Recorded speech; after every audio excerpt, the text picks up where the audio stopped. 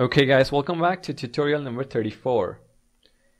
Now in ES5, we have the for each loop to iterate over array elements.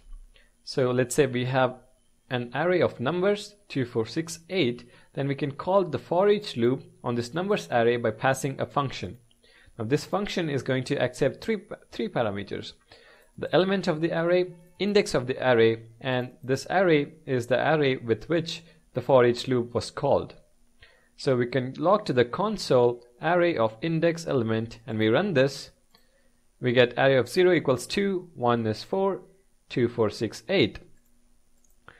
Now, for each loop worked out pretty well in ES5 with arrays.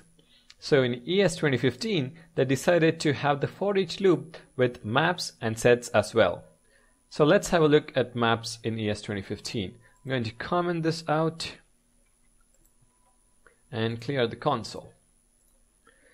So over here, I have created a new map. So let my map equals new map. And this contains two key value pairs, first name Chandler and last name Bing. Now, similar to arrays, we call the for each loop on the, on the map and we have a function passed into the parentheses. Now this map function is going to again accept three parameters, the value so Chandler and Bing, the key, first name, last name, and then the calling map. So the map on which the for each method is called. So let's log to the console key value pair and then let's check if my map is actually equal to this calling map. So when I run this and head over to the console,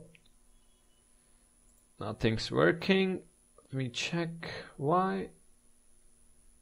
Okay, so I need to have the closing parentheses. And there you go. Let's run this. We have first name Chandler. My map is in fact equal to the calling map. And last name Bing. So that is how the for each loop works with maps. Now similarly, we also have the for each loop with sets. Now I have created a new set let my set equals new set and it has three unique values 1 2 and 3 and again we are calling the for each loop on my set by passing a function called set function. And the set function is going to accept three parameters again value key and calling set.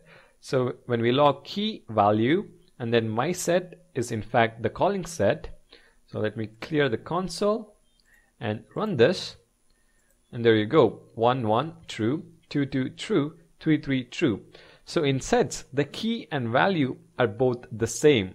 But we have this three parameters here because they wanted to maintain the standard across arrays, maps, and sets. Now if you have a look, array has three parameters, map has three parameters, and they wanted to continue the same, and that is why they have three parameters even for a set. So the key and value are going to be the same. You can just log out either one of them. And when we do a my set triple equal to the calling set, we have true.